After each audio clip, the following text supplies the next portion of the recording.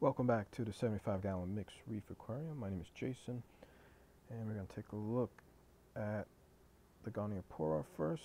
It did close up on me for about three days um, but it is back open and I'm about to add two additional Gonioporas.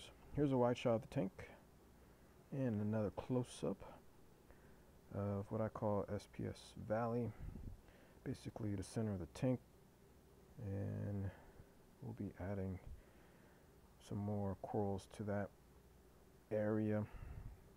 I'll be utilizing a magnet Fiji rock glued to a magnet on the overflow box. There's enough space behind these corals for about two or three more in that area. And this one's coming along well.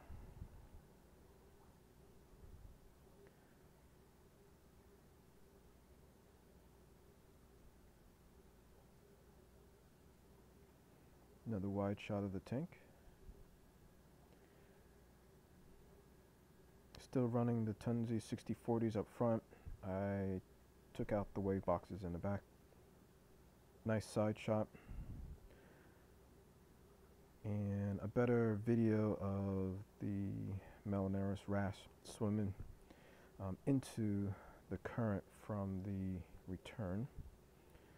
And here's a shot of the tank with the fifth light.